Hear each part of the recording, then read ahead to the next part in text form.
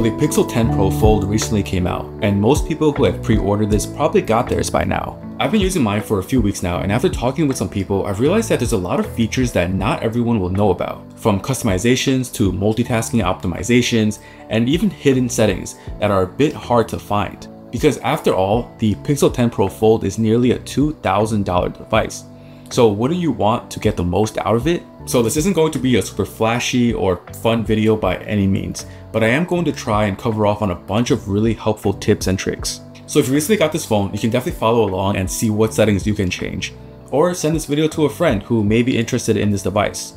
And if you want to learn more, check out the full in-depth review on my channel. Alright, let's get right into it. Alright, so first let's dive into some general settings that can help improve the overall user experience. Swiping down on your home screen, we can reveal some quick access icons in the notification tray. And if you swipe down again, you have this little pen icon where you can click on it and it allows you to customize this screen. So obviously if you hold down, click and drag, you can add or remove icons and reorder them around in this panel. But if you notice, there's actually a little handle that appears when you long press on an icon, which allows you to resize them. If they are full width, they reveal some additional information compared to if they're half width. So for example, if you want to see when your next alarm is, a full width bar will show you that information. Since we're talking about notifications, Another really useful setting is to enable notification history. So if you go into settings, notifications, and right here at the top, you have notification history. Enabling this will allow you to see a list of all of your recent notifications. So for example, if you're like me and accidentally swipe away notifications all the time, you can come to this screen and see what it was. Also within this notification settings is a toggle for notification snoozing. Just like alarms, this allows you to snooze a notification that you're not ready for currently, and it will reappear after a set amount of time. So in this example, we have this test notification and you can just snooze this for an hour and then it will reappear. Going down into this window gives you really useful privacy settings for your lock screen. So within these settings, I like to disable show sensitive content. This way, a stranger won't be able to see those notifications without unlocking your device, for example, an email or a text message. And lastly, if we go back, there is the setting called flash notifications. This allows your phone to use both the camera flash and the screen to flash when you get a notification. Now personally, I don't really use this, but I know a lot of people find this helpful, so it's there if you need it. Next, we'll talk about some additional gestures that are a bit hidden. So back under the main settings, we have system settings right here. And within this menu, you can see we have the gestures tab. So right here at the top, we have quick tap, and this allows you to double tap the back of your device to trigger any number of actions. So for this one, I have it set to take a screenshot. You can also use it to turn on the flash or to launch an app. It is a bit tricky to use, but once you get used to it, it can become very helpful. If you find yourself triggering it accidentally, you can also enable require strong taps. Another really useful setting is the double press power button. So by default, it just launches the camera, but if you're coming from a different device that doesn't do that, you can also set it to open Google Wallet for mobile payments. Lastly, within this menu, flip to is also a really useful feature where you can just flip this phone onto its screen in order to turn on D&D. So this is really useful if you're running into a meeting or if you're trying to concentrate on something. You can just turn your phone over and it won't vibrate, it won't ring until you flip it back over. Under the main settings menu, let's check out sound and vibration. Scrolling down to vibration and haptics, you have this option for vibrate first, then ring gradually. This is totally personal preference, but I really like this option because I'd rather my phone vibrate first so I can pick it up instead of it blasting the ringtone right away. And then going back a page and scrolling all the way down, we have clear calling. Enabling this allows the phone to reduce background noises during a call. And this is another really useful feature that I just always leave enabled because I think it does a pretty good job. Speaking of calling settings, this would be a good time to check out some other settings from within the dialer. So when you're in the dialer on the left hand side, you can go into settings and right here, generally all of these settings under call assist, I just leave on because they are all honestly so useful. Obviously caller ID and spam is pretty straightforward. It just identifies spam calls, but I also like to enable scam detection. After downloading an AI model, the phone is able to detect if someone on the call is trying to scam you. Personally, I haven't seen this in action, but I'm really curious if any of you have used this, how well does it work? Direct My Call allows you to see different options on your phone screen. For example, if it says press 1 for English or press 2 for Spanish, those options appear on your screen and you can just tap on it. Now, call screen, of course, is one of the most notable features for Pixels because it's able to automatically screen your calls for you and reject spam calls. It seems like they're constantly updating and evolving this feature so you can even pick up phone calls with Assistant and AI, and it allows you to save the audio as well as the transcripts from that. Now, voice to translate is new for the Pixel 10 devices, and this allows you to translate phone calls in real time. In the demo they showed, this looked really cool, but again, I personally haven't had a chance to use it because the language selections are a bit limited. Magic Cue is another new feature that they added this year, where the AI is able to pull up relevant information in your phone calls. For example, if someone is asking for a confirmation number or an order number, Magic Cue should be able to help populate that within the dialer so you don't have to go digging around your emails for it. Lastly, Take a Message is a pretty underrated feature that allows you to see voicemails in real time as someone is leaving them. It shows up as a transcript and then you have the ability to pick up the call in the middle of the voicemail. Scrolling all the way down to contact ringtones, this allows you to customize ringtones per contact. So basically you can know who's calling you without ever having to take a look at your phone. Alright, so now let's check out some home screen settings for customization. So on your home screen, by default, you have up to four apps.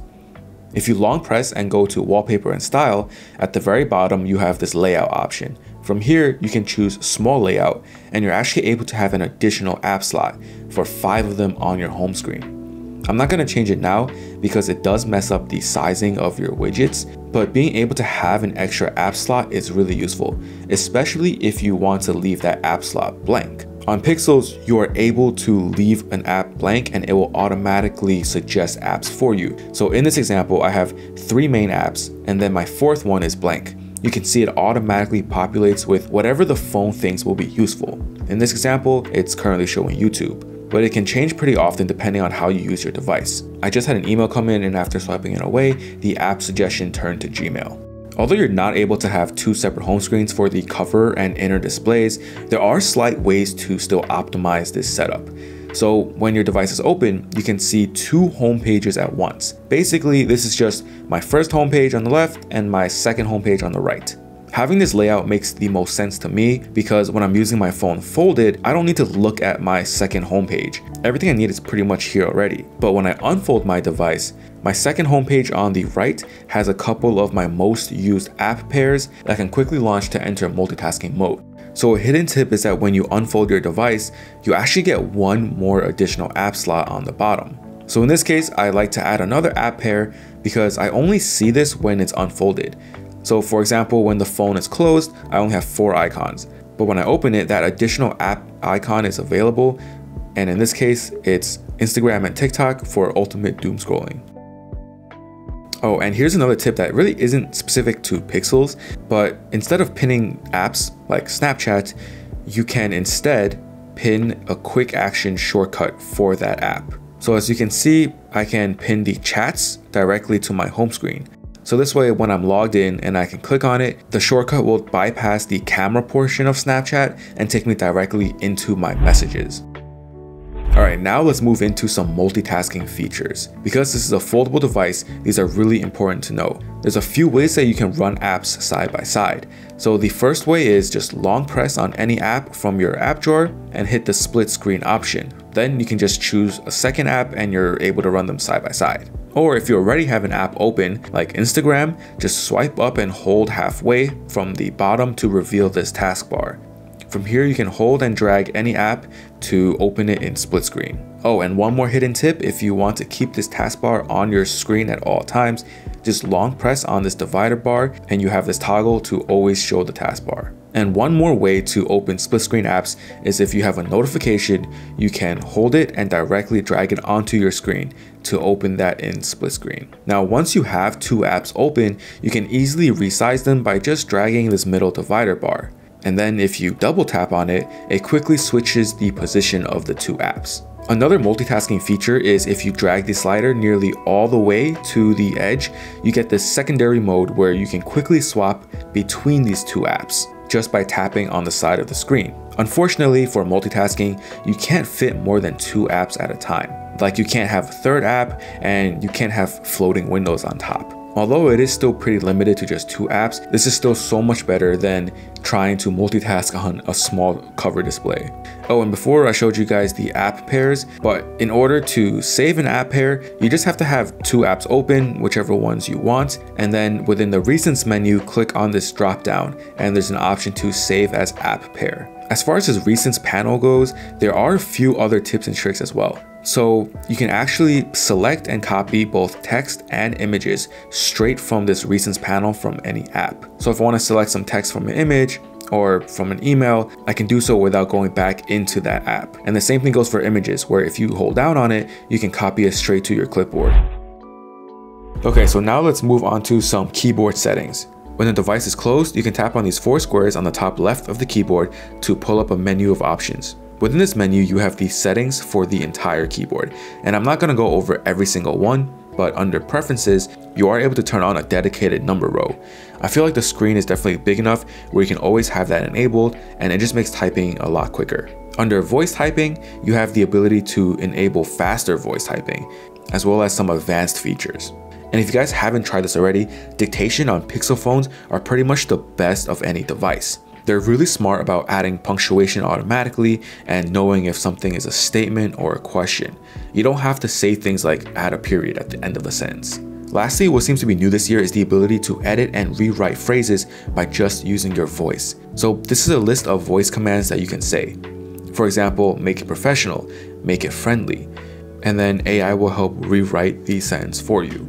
So going back to using the keyboard when your phone is closed, the keyboard looks pretty standard, but when you open it up, I have it so it splits into two. Now, if you don't like this setup, there are a few different ways to adjust this. So tapping on that middle icon will then condense it into one large keyboard across the whole screen. Or you can even tap on this icon and it becomes a floating keyboard. This is great for one-handed use. Tapping on the four squares and then going into resize will allow you to resize this floating keyboard so that it's more comfortable for your use case. You can also control where the cursor is using the spacebar just by swiping on it. You can see it's able to move around letter by letter and the same thing applies for backspace. So if you hold down and swipe on the backspace key, you can actually delete multiple words and sentences at a time. This makes typing and navigating long documents a lot quicker. Alright, lastly, I just want to touch on some circle to search functions. So if you hold down on the home bar, it pulls up the general circle to search UI. From here, you can scan QR codes right from your screen, and you can also search images, which I'm sure everyone already knows how to do. But within this UI, you can also just translate anything on your screen by tapping this translate icon. And it's a bit hard to see, but you can also copy the text straight from here, so from an image or anything that's on your screen. And right next to the translate is a music icon. So if you tap on that, it also allows you to identify songs from music, or if you even want to hum a melody. Alright, so I know that was a ton of information, but hopefully you guys learned something new. And if you are interested in how I set up my home screen, I did have a home screen segment on my full review video. And if you have any questions or if I forgot about anything, just let me know in the comments below and I'll try to reply. If you found this helpful, please give it a thumbs up and subscribe to my channel if you want to support me. It's free and it means a lot. That's pretty much it for this video. Thank you so much for watching and I'll see you next time. Peace.